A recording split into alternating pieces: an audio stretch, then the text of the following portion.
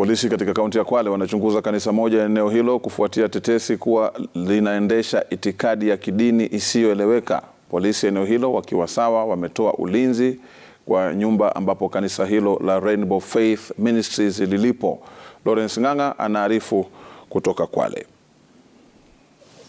Katikati ya kijiji cha Vumbu kilichozingirwa na misitu, maafisa wa usalama wanashika doria kwenye boma la mzee Mdata Nyamawi. Uwepo wa maafisa hawa ni kufuatia madai kuwa kanisa hili la Rainbow Faith Ministries limekuwa likiendesha mafunzo ya kupotosha jamii kupitia itikadi za kidini. Kanisa hili lililojengwa tangu zamani lilianza kuhudumu rasmi mwaka wa 2017. Kanisa lenyewe likihudumia familia pana ya mzee Mdata na washirika wengine. Kwa sababu familia iko kubwa, ndio tukajenga kanisa hapa. Tunaomba kutoka hapo, hata saa hizi tunaomba, hata imefanya kufungwa tu juzi, lakini tulikuwa tunaomba.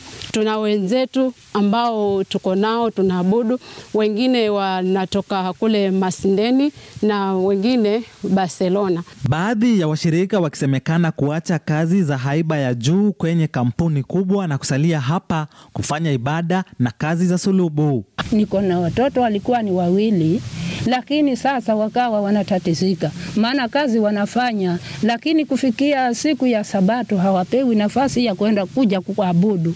Washirika wote wa dhehebu hili zaidi ya mia moja walikuwa wakiishi kwenye boma hili wakiamini onyo la wanayesema ni nabii wao Joyce Mukumbi mwenye umri wa miaka ishirini na mitatu la nyakati za mwisho zinazohitaji watu kukusanyika na kufanya ibada pamoja siku zote, wengine wakihama makwao na kuanza maisha hapa kabisa. Tunaamini asilimia mia moja ya kwamba ujumbe huu unatoka kwa Mwenyezi Mungu. So maelekezo yote yale ambayo Mwenyezi Mungu atayaleta kwetu kupitia kwake sisi tuna tunaamini asilimia mia moja na ndio posa tunaona ya kwamba mmetuona ya kwamba hapa tumekusanyika sote kwa pamoja.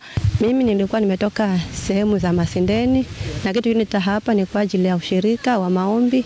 Mungu mwenyewe alikusanya mahali pamoja ili tuweze kufanya kazi yake. E, ni kweli kuna wengine waliacha mabwana wakakuja hapa na watoto na hiyo ndio ilikuwa ni chanzo cha kuwa wakosane. Walikuwa na migogoro hata before wakuje hapa. Mkusanyiko huo ukichochea asasi za usalama na idara ya afya kufika hapa na kutawanya washirika. Hii ni shida ambayo kitu shida itatokea wakati wowote, janga itatokea kabla, kama vile kwa mfano kama vile mambo ya vyoo vile vile imetengenezwa maji, kwa mambo ya shida ya maji na janga ama ugonjwa itatokea kama vile kipindupindu.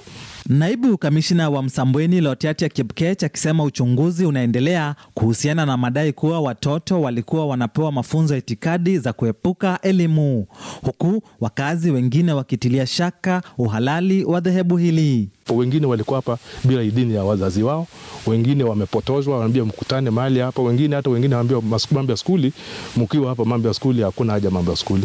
Walisema kwamba ni kuomba, lakini hatuko kuomba, wanaomba si huenda nyumbani hao wanalala hapa hapa. Sasa tukashangaa inakuwa namna gani, tukatishika sisi wana kijiji, kwa sababu mji kama huu unakaa watu zaidi ya mia moja.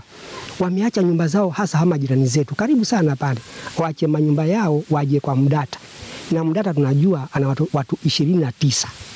Wakazi wanataka uchunguzi zaidi kufanyika ili kuondoa wasiwasi wa madhehebu yaliyo na itikadi kali yanayoendelea kuchipuka. Lawrence Ng'ang'a, runinga ya Citizen, Vumbu, kaunti ya Kwale.